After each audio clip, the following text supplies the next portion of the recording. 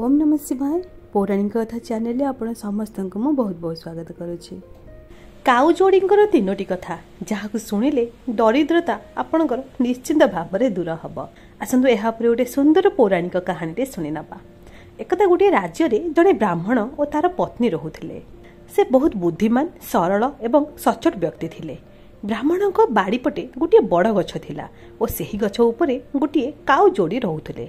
ବ୍ରାହ୍ମଣ ଜଣକ ବହୁତ ଗରିବ ଥିଲେ ଓ ଦରିଦ୍ରର ଜୀବନ ବିତାଉଥିଲେ। ଏପରିକି ସେ ତାଙ୍କ ପରିବାରକୁ ସଠିକ୍ ଭାବରେ ଖାଇବାକୁ ମଧ୍ୟ ଯୋଗାଇ ପାରୁନଥିଲେ। କିନ୍ତୁ ବ୍ରାହ୍ମଣ ଓ ତାଙ୍କ ପତ୍ନୀ ଉଭୟ କାଉ ଯୋଡ଼ିଙ୍କର ଯତ୍ନ ନେଉଥିଲେ ଏବଂ ସେମାନଙ୍କୁ ଖାଇବାକୁ ଅଳ୍ପ କିଛି ଖାଦ୍ୟ ମଧ୍ୟ ଦେଉଥିଲେ ଏବଂ ପିଇବା ପାଇଁ ପାଣି ମଧ୍ୟ ସଠିକ୍ ସମୟରେ ଦେଉଥିଲେ। ପକ୍ଷୀମାନଙ୍କ ପ୍ରତି ତାଙ୍କର ବହୁତ ଦୟା ଥିଲା। ସେହି କାଉ ଯୋଡ଼ି ବ୍ରାହ୍ମଣଙ୍କ ଘରେ ବହୁତ ଖୁସିରେ ଥିଲେ।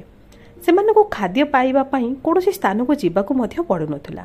ବ୍ରାହ୍ମଣ ତାଙ୍କୁ ଖାଦ୍ୟ ଆଣି ତାଙ୍କ ବସାରେ ଦେଇ ଯାଉଥିଲେ। ଗୋଟିଏ ଦିନ ସ୍ତ୍ରୀ କାଉଟି ତା ସ୍ୱାମୀକୁ କହିଲା ପ୍ରିୟ ଏହି ବ୍ରାହ୍ମଣ ପରିବାର ହୃଦୟରୁ ବହୁତ ଭଲ ଏବଂ ଆମର ବହୁତ ସେବା କରିଛନ୍ତି। ସେ ସ୍ୱଭାବରେ ବହୁତ ସରଳ ଏପରିକି ଆବଶ୍ୟକତାଠାରୁ ଅଧିକା ସିଧାସାଧା ଅଟନ୍ତି। ଯେଉଁ କାରଣରୁ ସେ ନିଜର ଆତ୍ମବିଶ୍ୱାସ ହରାଇଛନ୍ତି ସେ ନିଜ ପରିବାରର ଯତ୍ନ ନେବାକୁ ମଧ୍ୟ ପୁରା ସକ୍ଷମ ନୁହନ୍ତି। ପୁରୁଷ କାଉଟି ଉତ୍ତର ଦିଏ ହଁ ପ୍ରିୟ ତୁମେ ଜାଣିଛ ମଣିଷ ଜୀବନରେ ଛଅ ପ୍ରକାରର ଦୁଃଖ ଅଛି। ପ୍ରଥମ ଦିଖ ହେଉଛି ପତ୍ନୀର ବିୟୋଗ। ଦ୍ୱିତୀୟ ଦିଖ ହେଉଛି ଲୋକଙ୍କ ଦ୍ୱାରା ଅପମାନିତ ହେବା। ତୃତୀୟ ଦୁଃଖ ହେଉଛି ବାକି ହୋଇଥିବା ଋଣ ପରିଶୋଧ ନ କରିପାରିବା। ଚତୁର୍ଥ ଦୁଃଖ ଏକ ଖରାପ ରାଜାର ସେବା କରିବା। ପଞ୍ଚମ ଦୁଃଖ ଦୁଷ୍ଟ ଲୋକର ସଙ୍ଗତି ହେବା ଓ ଷଷ୍ଠ ଦାରିଦ୍ର୍ୟତାରେ ଜୀବନ କାଟିବା। ଏହି ଦୁଃଖରେ ମଣିଷର ଶରୀର ବିନା ଅଗ୍ନିରେ ହିଁ ଜଳିବା ପ୍ରାୟ ହୋଇଥାଏ। ବ୍ରାହ୍ମଣକୁ ଅତ୍ୟଧିକ ଚିନ୍ତିତ ଏବଂ ଅସହାୟ ଅବସ୍ଥାରେ ଦେଖି ଦିନେ ଉଭୟ ପତ୍ନୀ ପତ୍ନୀ କାଉ ନିଜ ଭିତରେ କଥାବାର୍ତ୍ତା ହେଲେ ଯେ ଆମେ ବ୍ରାହ୍ମଣକୁ କୌଣସି ପ୍ରକାରେ ସାହାଯ୍ୟ କରିବା ଉଚିତ। ଗରିବ ବ୍ରାହ୍ମଣ ଆମ ପାଇଁ ବହୁତ କିଛି କରୁଛନ୍ତି ଏବଂ ଏହାର ପ୍ରତିବଦଳରେ ଆମେ ତାଙ୍କ ପାଇଁ କିଛି କାମ ଯୋଗାଡ଼ କରିଦେବା ଉଚିତ। ଯେପରି ସେ ଏବଂ ତାଙ୍କ ପରିବାର ଶାନ୍ତିରେ ଚଳିପାରିବେ ସାରା ରାତି ଚିନ୍ତା କରି ପରଦିନ ସେମାନେ ବ୍ରାହ୍ମଣକୁ କହିଲେ ହେ ବ୍ରାହ୍ମଣ ଦେବତା ତୁମେ ରାଜାଙ୍କ ନିକଟକୁ ଯାଇ ଚାକିରିରେ ନିଯୁକ୍ତି ଦେବା ପାଇଁ ଅନୁରୋଧ କର। ତୁମେ ରାଜାଙ୍କୁ କୁହ ଯେ ତୁମେ ରାଜାଙ୍କର ସେହି ସମସ୍ୟାର ସମାଧାନ କରିପାରିବ ଯାହାର ସମାଧାନ ଅନ୍ୟ କାହା ପାଖରେ ନାହିଁ। ଏବଂ ଦରମା ହିସାବରେ ରାଜାଙ୍କଠାରୁ ଦୈନିକ ଏକଶହ ସ୍ୱର୍ଣ୍ଣ ମୁଦ୍ରା ମାଗନ୍ତୁ। କାହୁମାନଙ୍କ କଥା ଶୁଣି ବ୍ରାହ୍ମଣ ଭାବିଲେ ମୁଁ କ'ଣ ରାଜାଙ୍କ ସମସ୍ୟାର ସମାଧାନ କରିପାରିବି? ତଥାପି ସେ କାଉମାନଙ୍କ କଥା ଶୁଣି ସାହସ କରି ସେହି ଗରିବ ବ୍ରାହ୍ମଣ ରାଜାଙ୍କ ପ୍ରାଙ୍ଗଣରେ ପହଞ୍ଚିଲେ। ଉଭୟ କାଉ ଯେଉଁ ପ୍ରକାରରେ ବୁଝାଇଥିଲେ ଠିକ୍ ସେହିପରି ବ୍ରାହ୍ମଣ ରାଜାଙ୍କୁ କହିଥିଲେ ଏବଂ ପ୍ରତିଦିନ ଦରମା ହିସାବରେ ଏକଶହ ମୁଦ୍ରା ମଧ୍ୟ ମାଗିଥିଲେ। ଏହା ଶୁଣି ରାଜା ପଚାରିଲେ ଆମ ରାଜ୍ୟରେ କାହାର ବି ବେତନ ଶହେ ସ୍ୱର୍ଣ୍ଣ ମୁଦ୍ରା ନୁହଁ? ତେବେ ତୁମକୁ କିପରି ଦିଆଯିବ? ରାଜାଙ୍କ କଥା ଶୁଣି ବ୍ରାହ୍ମଣ ମୁଣ୍ଡ ନୁଆଁଇ ଉତ୍ତର ଦେଲା ହଁ ମହାରାଜ ମୁଁ ଜାଣେ କିନ୍ତୁ ମୁଁ ଶହେ ସ୍ୱର୍ଣ୍ଣ ମୁଦ୍ରାରୁ କମ୍ ନେବି ନାହିଁ। ଅନ୍ୟପଟେ ମନ୍ତ୍ରୀ ବ୍ରାହ୍ମଣକୁ ଦେଖି ମନେ ମନେ ଚିନ୍ତା କଲେ ଯେ ଏହି ବ୍ରାହ୍ମଣର ଦେହ ଅତ୍ୟନ୍ତ ଦୁର୍ବଳ। ସେ ମଇଳା ଲୁଗାପଟା ଓ ପୁରୁଣା ପୋଷାକ ପିନ୍ଧିଛନ୍ତି।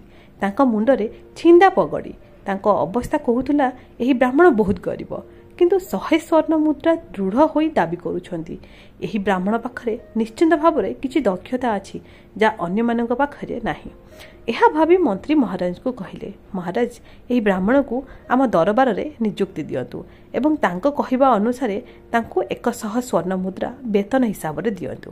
ଏହିପରି ମନ୍ତ୍ରୀଙ୍କର ବାରମ୍ବାର ଅନୁରୋଧକୁ ଦେଖି ରାଜା ବ୍ରାହ୍ମଣକୁ ତାଙ୍କ ଦରବାରରେ ନିଯୁକ୍ତି ଦେଲେ ଏବଂ ସନ୍ଧ୍ୟାରେ ରାଜା ସେହି ବ୍ରାହ୍ମଣକୁ ଏକଶହ ସ୍ୱର୍ଣ୍ଣ ମୁଦ୍ରା ଦେଲେ। ବ୍ରାହ୍ମଣ ତାଙ୍କ ଘରକୁ ଫେରି ସେହି ମୁଦ୍ରାକୁ ପ୍ରଥମେ ତାଙ୍କ ପତ୍ନୀକୁ ଦେଲେ। ବ୍ରାହ୍ମଣ ପତ୍ନୀଙ୍କ ଆଖି ଏତେ ମୁଦ୍ରା ଦେଖି ଝଲସି ଉଠିଲା। ସେ ଆଶ୍ଚର୍ଯ୍ୟ ହୋଇ ପଚାରିଲେ ସ୍ୱାମୀ ତୁମେ ଏତେ ସ୍ୱର୍ଣ୍ଣ ମୁଦ୍ରା କେଉଁଠୁ ଆଣିଲ? ବ୍ରାହ୍ମଣ ନିଜ ପତ୍ନୀକୁ ବୁଝାଇ କହିଲେ ଦେଖ ଭୟ କରିବାର କୌଣସି ଆବଶ୍ୟକତା ନାହିଁ। ମୁଁ ଏହି ମୁଦ୍ରାଗୁଡ଼ିକୁ କେଉଁଠାରୁ ଚୋରି କରି ଆଣି ନାହିଁ। ଆଜି ମୁଁ ରାଜାଙ୍କ ଦରବାରକୁ ଯାଇ ଚାକିରି ପାଇଁ ଅନୁରୋଧ କଲି ଓ ଦୈନିକ ମଜୁରୀରେ ରାଜାଙ୍କଠାରୁ ଶହେ ସ୍ୱର୍ଣ୍ଣ ମୁଦ୍ରା ମାଗିଲି। ପରେ ମନ୍ତ୍ରୀଙ୍କ ସୁପାରିଶରେ ରାଜା ମୋତେ ନିଯୁକ୍ତି ଦେଲେ ଏବଂ ଏହା ମୋର ଆଜିର ବେତନ। କିନ୍ତୁ ମୁଁ ଆଶ୍ଚର୍ଯ୍ୟ ହେଉଛି ଯେ ରାଜା ମୋତେ ନିଯୁକ୍ତି ତ ଦେଲେ କିନ୍ତୁ ଯଦି ଏମିତି କିଛି କାର୍ଯ୍ୟ ମୋ ଉପରକୁ ଆସେ ତେବେ ମୁଁ ଏହାକୁ ଠିକ୍ ଭାବରେ କରିପାରିବି ତ? ଏହା ଶୁଣି କାଉଜୋଡ଼ି କହିଲେ ବ୍ରାହ୍ମଣ ଦେବତା ଭୟ କର ନାହିଁ। ଭଗବାନ ଯେବେ ଦିଅନ୍ତି ଛାତ ଫଟାଇ ଦିଅନ୍ତି। ସେ ଯେବେ ସମସ୍ୟା ଦେଇଛନ୍ତି ତେବେ ଏହାର ମଧ୍ୟ ସମାଧାନ ନିଶ୍ଚିନ୍ତ ହେବ।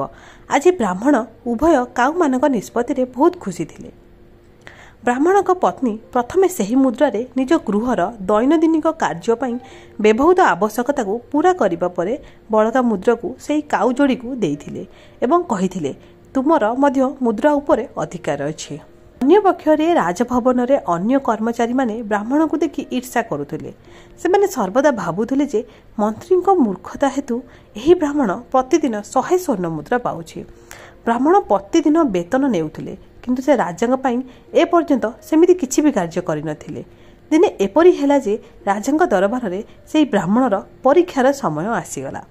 ସେହିଦିନ ଅନ୍ୟ ଏକ ପଡ଼ୋଶୀ ରାଜ୍ୟରୁ ଜଣେ ରାଜାଙ୍କ ଦୂତ ଆସି କହିଲା ମହାରାଜ ଯଦି ଆପଣ ଆମ ରାଜାଙ୍କର ଦୁଇଟି ପ୍ରଶ୍ନର ଉତ୍ତର ସଠିକ୍ ଉତ୍ତର ଦିଅନ୍ତି ତେବେ ଆମର ମହାରାଜ ଆପଣଙ୍କୁ ଆମ ରାଜ୍ୟର ଅଧା ଦାନ କରିଦେବେ।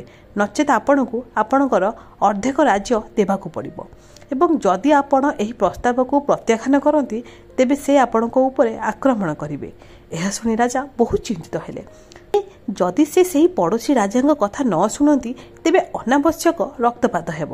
ତେଣୁ ସେ ଦୂତକୁ କହିଲେ ତୁମେ ତୁମ ରାଜାଙ୍କର ଦୁଇଟି ପ୍ରଶ୍ନ ପ୍ରସ୍ତୁତ କର ରାଜା ଏହା କହିବା ମାତ୍ରେ ଦୂତ ଗୋଟିଏ ପାଲିଙ୍କି ଦରବାର ମଝିକୁ ନେଇ ଆସିଲେ। ସେହି ପାଲିଙ୍କିରେ ତିନୋଟି ମୂର୍ତ୍ତି ରଖାଯାଇଥିଲା। ସମସ୍ତ ପ୍ରତିମା ମାର୍ବଲ ପଥରରେ ତିଆରି ହୋଇଥିଲା। ଦୂତ ରାଜାଙ୍କୁ କହିଲା ଆମ ମହାରାଜଙ୍କ ପ୍ରଥମ ପ୍ରଶ୍ନ ଏହା ଯେ ଏହି ତିନୋଟି ପ୍ରତିମା ମଧ୍ୟରେ କେଉଁଟି ସର୍ବୋତ୍ତମ ପ୍ରତିମୂର୍ତ୍ତି ଏହା ଶୁଣି ରାଜା ଏବଂ ଦରବାରରେ ଉପସ୍ଥିତ ସମସ୍ତେ ଭାବିବାକୁ ଲାଗିଲେ ଯେ ଏହି ପ୍ରତିମା ଗୁଡ଼ିକ ଦେଖିବାକୁ ସମାନ। ତେବେ କିପରି ସେଗୁଡ଼ିକ ମଧ୍ୟରେ ସର୍ବୋତ୍ତମ ବୋଲି ପ୍ରମାଣିତ ହୋଇପାରିବ? ଦରବାରରେ ଉପସ୍ଥିତ କେହି ମଧ୍ୟ ସେହି ମୂର୍ତ୍ତି ଗୁଡ଼ିକ ମଧ୍ୟରେ ପାର୍ଥକ୍ୟ ବାହାର କରିପାରିଲେ ନାହିଁ। ମନ୍ତ୍ରୀକୁ ମନେ ପଡ଼ିଗଲା ଯେ ବ୍ରାହ୍ମଣ ଦୈନିକ ଶହେ ସ୍ୱର୍ଣ୍ଣ ମୁଦ୍ରା ବିନିମୟରେ ସେହି ସମସ୍ୟାରେ ସମାଧାନ ଖୋଜିପାରିବେ କେହି ବି କରିପାରିବେ ନାହିଁ। ମହାରାଜାଙ୍କୁ କହି ସଙ୍ଗେ ସଙ୍ଗେ ସେହି ବ୍ରାହ୍ମଣଙ୍କୁ ଡକାଇଲେ ଏବଂ ତାଙ୍କୁ ତିନୋଟି ପ୍ରତିମା ମଧ୍ୟରେ ସର୍ବୋତ୍ତମ ପ୍ରତିମା ଖୋଜିବାକୁ ଆଦେଶ ଦେଲେ।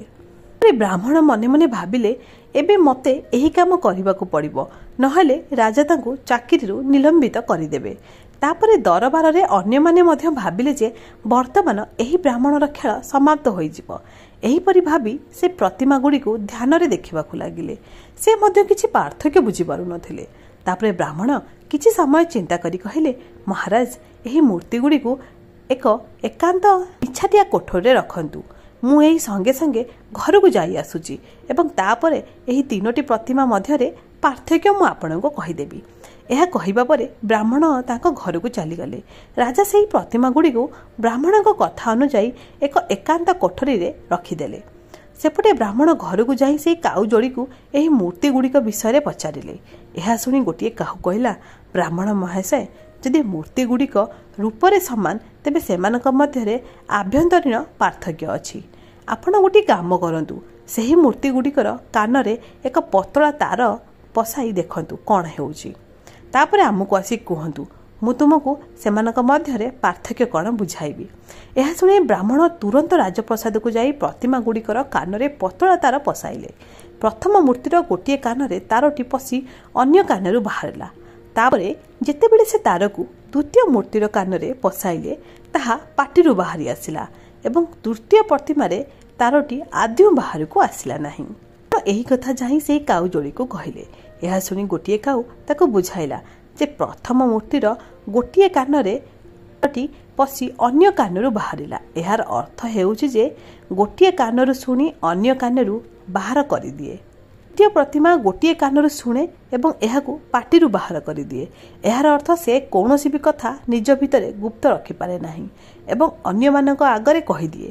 ତୃତୀୟ ପ୍ରତିମାଟିରେ ତାରଟି କାନ ମଧ୍ୟକୁ ଯାଏ ଓ ବିଲକୁଲ ବାହାରକୁ ଛାଡ଼େ ନାହିଁ।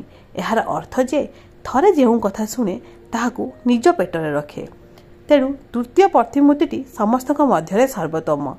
ଯେଉଁ ବ୍ୟକ୍ତି କୌଣସି କଥାକୁ ଶୁଣିବା ପରେ ନିଜ ଭିତରେ ରଖନ୍ତି କାହାକୁ କୁହନ୍ତି ନାହିଁ ଏବଂ ସମୟ ଆସିବା ପରେ ଏହାକୁ ବ୍ୟବହାର କରନ୍ତି ସେହି ବ୍ୟକ୍ତି ବୁଦ୍ଧିମାନ ଭାବରେ ବିବେଚନା କରାଯାଏ। କାହାର ଏହିସବୁ କଥା ଶୁଣି ବ୍ରାହ୍ମଣ ଯଥାଶୀଘ୍ର ଦରବାରରେ ପହଞ୍ଚି ଠିକ୍ ସେହି ଭାବରେ ବୁଝାଇଲେ ଯେପରି କାଉ ତାଙ୍କୁ ବୁଝାଇଥିଲେ। ବ୍ରାହ୍ମଣଙ୍କ ଉତ୍ତରରେ ପଡ଼ୋଶୀ ଦେଶର ରାଜା ଅତ୍ୟନ୍ତ ସନ୍ତୁଷ୍ଟ ହେଲେ ଓ ଦରବାରରେ ଉପସ୍ଥିତ ସମସ୍ତ ବୃଦ୍ଧ ବହୁତ ଖୁସି ହେଲେ। ପରେ ଦୂତ ଜଣକ ବ୍ରାହ୍ମଣଙ୍କୁ ତାଙ୍କର ଦ୍ୱିତୀୟ ପ୍ରଶ୍ନ ପଚାରିଲେ ସଂସାରରେ ଏମିତି କେଉଁ ମନୁଷ୍ୟ ଅଛି ଯିଏ ମରିବା ପରେ ବଞ୍ଚିଥାଏ ଏବଂ ଏମିତି କିଛି ଅଛି ଯିଏ ବଞ୍ଚିବା ଯୋଗୁଁ ହିଁ ବଞ୍ଚିଥାଏ ପ୍ରଶ୍ନ ଶୁଣି ବ୍ରାହ୍ମଣ ତୁରନ୍ତ ଘରକୁ ଯାଇ କାହୁମାନଙ୍କୁ ଏହି କଥା ପଚାରିଲା। ସ୍ତ୍ରୀ କାହୁଟି ଉତ୍ତର ଦେଇ କହିଲା ପ୍ରଥମ ବ୍ୟକ୍ତିଟି ନିଜେ ଆପଣ। ଦ୍ୱିତୀୟଟି ବୈଦ୍ୟ। ଜଣେ ବ୍ୟକ୍ତିର ମୃତ୍ୟୁ ପରେ ତାର ଅନ୍ତିମ ସଂସ୍କାର ଠାରୁ ଆରମ୍ଭ କରି ଦଶାହ ଏଗାର ଦିନ କର୍ମ ବାର ପତ୍ର ତଥା ଶ୍ରାଦ୍ଧ ଆଦି କର୍ମ କରି ଜଣେ ବ୍ରାହ୍ମଣ ନିଜର ଜୀବିକା ନିର୍ବାହ କରିଥାଏ। ଅନ୍ୟପଟରେ ମୃତ୍ୟୁ ମୁଖରେ ପଡ଼ିଥିବା ରୋଗୀକୁ ବଞ୍ଚାଇ ଜଣେ ବୈଦ୍ୟ ନିଜ ପେଟ ପୋଷନ୍ତି। କାହୁର ଉତ୍ତର ଶୁଣି ବ୍ରାହ୍ମଣ ଯାଇ ରାଜାଙ୍କ ସମ୍ମୁଖରେ ସମାନ ଉତ୍ତର ଦେଲେ ସମଗ୍ର ଦରବାରରେ ବ୍ରାହ୍ମଣଙ୍କ ପାଇଁ ଖୁସି ଖୋଜିବାକୁ ଲାଗିଲେ। ତାପରେ ଚୁକ୍ତି ଅନୁଯାୟୀ ରାଜା ଅଧା ରାଜ୍ୟ ପାଇଲେ। କିଛି ଦିନ ପରେ ରାଜାଙ୍କ ମନକୁ ଆସିଲା ଯେ ପ୍ରଶ୍ନର ଉତ୍ତର ଦେବା ସମୟରେ ବ୍ରାହ୍ମଣ କାହିଁକି ତାଙ୍କ ଘରକୁ ଯାଉଥିଲେ? ପ୍ରଶ୍ନ ବ୍ରାହ୍ମଣକୁ ପଚାରିଲେ। ବ୍ରାହ୍ମଣ ସଠିକ ଉତ୍ତର ଦେଇଥିଲେ ଯେ ମୋ ଘର ବାହାରେ ଏକ ବରଗଛ ଅଛି। ସେହି ବରଗଛରେ ଏକ କାଉ ଯୋଡ଼ି ବସନ୍ତି। ଉଭୟ ସ୍ୱାମୀ ଏବଂ ସ୍ତ୍ରୀ ବହୁତ ବୁଦ୍ଧିମାନ। ମୁଁ ସେମାନଙ୍କ ପରାମର୍ଶରେ ଆପଣଙ୍କ ପାଖକୁ କାମ ମାଗିବା ପାଇଁ ଆସିଥିଲି। ସେମାନେ ଏଇ ଦୁଇଟି ପ୍ରଶ୍ନର ଉତ୍ତର କହିଛନ୍ତି। ରାଜା ଏହା ଶୁଣି ବହୁତ ଖୁସି ହେଲେ। ସେ ସେହି କାଉ ଯୋଡ଼ିଙ୍କ ତାଙ୍କୁ ପ୍ରସାଦକୁ ଡକାଇ ପଚାରିଲେ ପକ୍ଷୀଗଣ ତୁମେ ଏହି ଜ୍ଞାନ କେଉଁଠୁ ପାଇଲ? ତାପରେ ଉଭୟ କାଉ ହସିଲେ ଏବଂ ଉତ୍ତର ଦେଲେ ମହାରାଜ ଆମେ ଏହି ଜ୍ଞାନ ଏହି ବ୍ରାହ୍ମଣଙ୍କ ଠାରୁ ପାଇଛୁ ଯାହାର ଘରେ ଆମେ ରହୁଛୁ। ଏହି ବ୍ରାହ୍ମଣ ଯେତେବେଳେ ଶାସ୍ତ୍ର ଅଧ୍ୟୟନ କରୁଥିଲେ ଆମେ ଗଛରେ ବସି ଶୁଣୁଥିଲୁ। ଏହା ହେଉଛି ତାଙ୍କର ଅନୁଗ୍ରହର ଫଳ। ମହାରାଜ ଏହି ବ୍ରାହ୍ମଣ ଅତି ସରଳ। ତାଙ୍କର ଆତ୍ମବିଶ୍ୱାସର ଅଭାବ ଥିଲା। ସେ ଦାରିଦ୍ର୍ୟର ଯନ୍ତ୍ରଣା ଭୋଗୁଥିଲେ। ଏଥର ସେ ଆମ ପରାମର୍ଶ ମାନିଲେ ଓ ସଫଳ ମଧ୍ୟ ହୋଇଛନ୍ତି। ରାଜା କହିଲେ ଆରେ ପକ୍ଷୀଗଣ ମୁଁ ତୁମ ପାଇଁ ବହୁତ ଗର୍ବିତ। ତୁମେ ଜଣେ ଅସହାୟ ବ୍ରାହ୍ମଣକୁ ସମ୍ମାନ ବଢ଼ାଇଛ ଏବଂ ଠିକ୍ ସମୟରେ ତୁମେ ଏହି ଦେଶ ପାଇଁ ଗୌରବ ମଧ୍ୟ ଆଣିଛ। ତୁମକୁ କ'ଣ ଦରକାର? ତୁମେ ବିନା ଦ୍ୱିଧାରେ କହିପାର। ତାପରେ ପୁରୁଷ କାହୁ କହେ ମହାରାଜ ମୁଁ ଚାହୁଁଛି ଆମ ସହରର ସମସ୍ତ ପ୍ରାଣୀଙ୍କ ଜୀବନ ଖୁସି ହେଉ।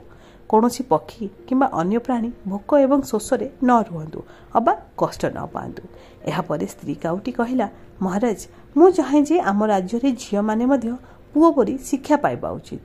କୁହାଯାଏ ଯେ ଯଦି ଜଣେ ମହିଳା ଅଜ୍ଞତାର ଅନ୍ଧକାରରେ ବୁଲେ ତେବେ ତା ପରିବାରରେ ସୁଖ ଏବଂ ଶାନ୍ତି ରହିନଥାଏ ଯଦି ସେ ଶିକ୍ଷିତ ତେବେ ସେ ନିଜ ସନ୍ତାନକୁ ଗୁରୁଙ୍କ ପରି ଶିକ୍ଷା ଦିଏ।